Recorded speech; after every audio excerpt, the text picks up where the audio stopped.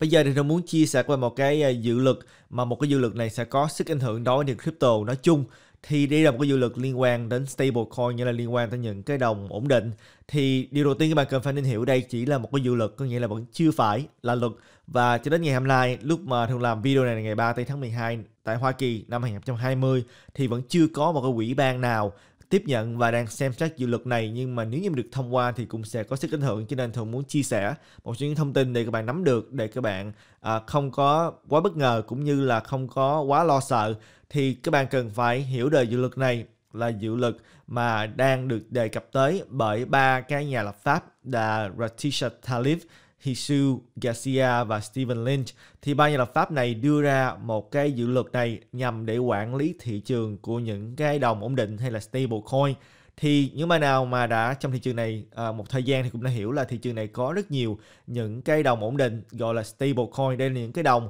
mà cái giá trị sẽ xoay quanh một đô la. Tôi nói xoay quanh có nghĩa là có nhiều khi hơn một chút hay là thấp một chút tùy theo tình của thị trường nhưng mà cái giá trị một đồng stablecoin là sẽ xoay quanh một đô la và chúng ta có rất nhiều những đồng mà nhiều quan thuộc trên thị trường lớn nhất vẫn là đồng Tether, đồng USDT và những đồng khác mà cũng nhiều người quan biết như là đồng USD Coin hay đồng True USD, đồng DAI, đồng Paxos Standard. Thì những điều mà các bạn cần phải hiểu là những cái đồng này là những đồng mà được phát hành bởi những công ty tư nhân. Ngoài chỉ đồng DAI ra, đồng DAI là một cái đồng mà được phát hành trên mạng lưới của Ethereum. Những đồng còn lại là một công ty tư nhân đưa ra một đồng ổn định và sau lưng đồng này sẽ có một cái số tiền để mà hỗ trợ cái giá trị của đồng. Và cái số tiền này thực ra mà nói là những cái đồng như là đồng USDC hay là đồng True USD thì có những cái giấy tờ kiểm toán chứng nhận là thực sự đứng sau lưng những đồng này là có đồng đô la hỗ trợ. Nhưng mà những đồng như là Tether thì lại không có. Đồng Tether thực sự mà nói là họ không có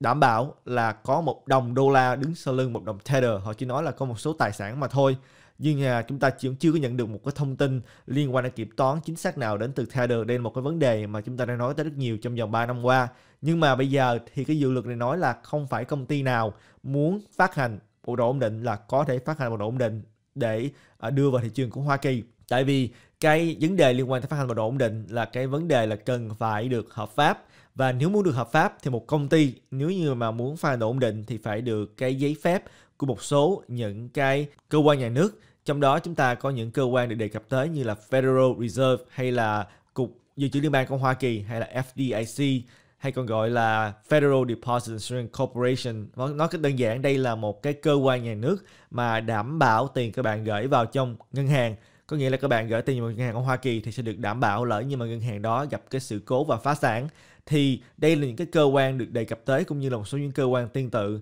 uh, sẽ phải đưa ra cái giấy phép để cho một công ty có thể là phát hành một độ ổn định chứ không phải là ai muốn phát hành cũng có thể phát hành. Nếu như mà dự luật được thông qua thì những cái công ty muốn phát hành là phải có giấy phép của Hoa Kỳ để mà phát hành đồng ổn định. Và cộng với đó nữa là đồng ổn định phải được FDIC insure có nghĩa là cần phải được đảm bảo và có bảo hiểm uh, của FDIC của Hoa Kỳ. Có nghĩa là nếu như mà công ty của đồng ổn định đó mà bị phá sản thì cái đồng ổn định đó vẫn phải được đảm bảo giá trị thì các bạn sẽ thấy được là rất khó để một công ty có thể là được những giấy phép này và thậm chí những cái công ty mà liên quan đến thì crypto này mà có hoạt động trong ngành ngân hàng. Như là các bạn thấy được là những cái sàn như là sàn Kraken, thì có cái ngân hàng ở tiểu bang Wyoming, Kraken Financial and Avanti. Thì ngân hàng của Kraken cũng không thể có được những giấy phép này, tại vì ngân hàng của Kraken là một ngân hàng và giấy phép được cấp bởi tiểu bang hay là những cái ngân hàng khác mà được cấp giấy phép ở những cái địa phương cũng không thể có được những cái giấy phép này để có thể đưa ra những đồng ổn định.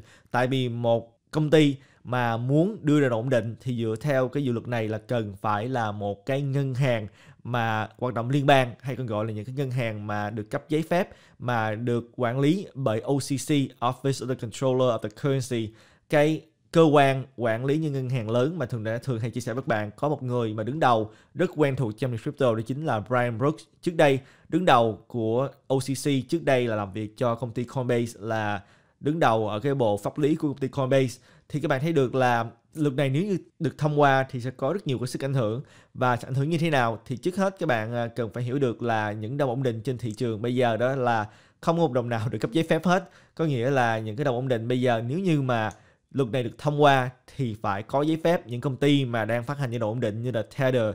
USD Coin, True USD sẽ phải đi xin giấy phép và được cấp hay không thì cũng chưa có biết. Điều này có nghĩa là gì? Điều này có nghĩa là những cái công ty mà các bạn thấy là ở Hoa Kỳ mà làm việc trực tiếp với chính phủ trong vòng mấy năm qua như là USD Coin hay là USD thường nghĩ là có cơ hội cao hơn được cấp giấy phép nhưng mà những công ty như là công ty Tether, các bạn cũng đã biết là có rất nhiều những cái vết dơ trong vòng mấy năm qua và Tether vẫn là một cái đồng ổn định lớn nhất bây giờ mà có nhiều rắc rối các bạn thấy là chúng ta nhìn vào con CoinGecko đi các bạn thấy được là đồng Tether thì bây giờ là tổng số hóa lên tới 19 tỷ. Các bạn thấy là trong vòng 3 năm qua thì cái sự lo ngại liên quan tới đồng Tether là bị vấn đề liên quan tới pháp lý hay là sẽ bị phá sản, tại vì đứng sau lưng đồng Tether có bao nhiêu tiền để mà hỗ trợ một đồng Tether là một đô la chúng ta cũng không có biết. Ngay cả các bạn lên trên trang web chính thức của công ty Tether thì họ cũng không có nói rõ là có bao nhiêu tiền. Họ chỉ nói là có một số đồng đô la và một số tài sản hỗ trợ mà thôi, nhưng mà tài sản đó là bao nhiêu không ai biết được.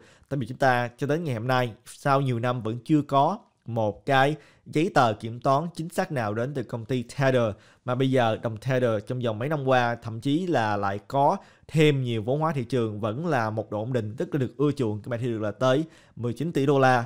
Và nếu như mà luật này được thông qua thì nghĩ là đồng Tether sẽ khó có thể được chấp nhận. Và điều này thì đương nhiên sẽ có có sức ảnh hưởng. Và đầu tiên hết thì các bạn cần phải hiểu được là những công ty ở Hoa Kỳ bây giờ, những cái sàn giao dịch đó là phần lớn không có cho giao dịch đồng USDT có nghĩa là đồng Tether không có trên nhiều sàn ở Hoa Kỳ. Đó không phải là một cái sự ngẫu nhiên mà là một cái sự lựa chọn của nhiều sàn, tại vì họ lo sợ một ngày nào đó đồng Tether sẽ bị chính phủ Hoa Kỳ không cho hoạt động hoặc là bị phá sản. Cho nên những cái sàn lớn ở Hoa Kỳ như là các bạn thấy là sàn Gemini hay là sàn Coinbase thì không có đồng Tether, nhưng mà cũng có một số sàn Hoa Kỳ cho giao dịch đồng Tether. Không có nhiều, một số sàn như là các bạn thấy sàn Kraken hay là sàn Binance US thì có cho hoạt động đồng Tether. Nhưng mà những cái sàn khác thì không có. Cho nên nếu như mà cái dự luật này mà được thông qua thành luật đó, thì tôi nghĩ là sẽ có một số những công ty có thể phát hành đồng ổn định và đồng ổn định nào mà được cấp giấy phép thì đương nhiên tất cả những sàn Hoa Kỳ sẽ sử dụng cái đồng đó. Nhưng mà một cái vấn đề mà rắc rối trung hạn đó như là trong ngắn hạn thường không nghĩ là sẽ có một cái vấn đề nào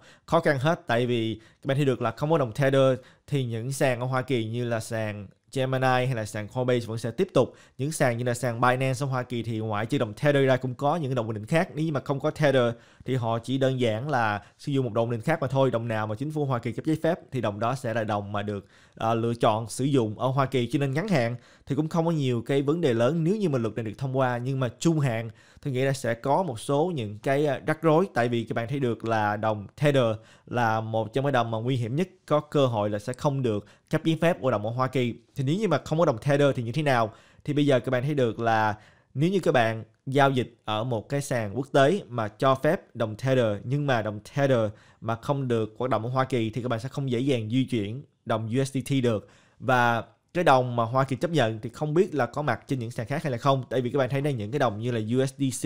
hay là True USD thì ngoại trừ những sàn Hoa Kỳ ra những sàn quốc tế thì ít có sàn nào sử dụng những cái token này. Thì những token này có được sử dụng rộng rãi hay là không? Nếu như mà câu trả lời là có những đồng nào mà được cấp giấy phép của Hoa Kỳ thì là những đồng mà có kiểm toán, có kiểm chứng an toàn hơn thì trên căn bản, nhiều sàn sẽ chấp nhận và sử dụng rộng rãi, thì nếu đó là sự thật thì cũng không có cái vấn đề gì. Các bạn thấy được mọi chuyện cũng sẽ diễn ra êm đẹp mà thôi. Các bạn có thể di chuyển những cái đồng ổn định đó qua lại với nhau. Xuyên quốc gia chỉ có là không phải là đồng Tether mà thôi. Đó là điều thứ nhất điều thứ nhì nữa là nếu như mà chúng ta thấy ngoại trừ Hoa Kỳ ra mà chúng ta lại nhận thêm những thông tin uh, từ những cái quốc gia tương tự như là nước Anh hay là châu Âu mà đưa ra những cái luật tương tự là một đồng ổn định là phải được cấp giấy phép ở quốc gia đó mới được hoạt động thì sẽ dẫn đến cái sự có thể khác biệt giữa là Hoa Kỳ thì có thể chấp nhận một đồng nhưng mà ở châu Âu thì là chấp nhận một đồng khác và ở châu Á thì là sử dụng đồng Tether. Thì bạn thấy được là cái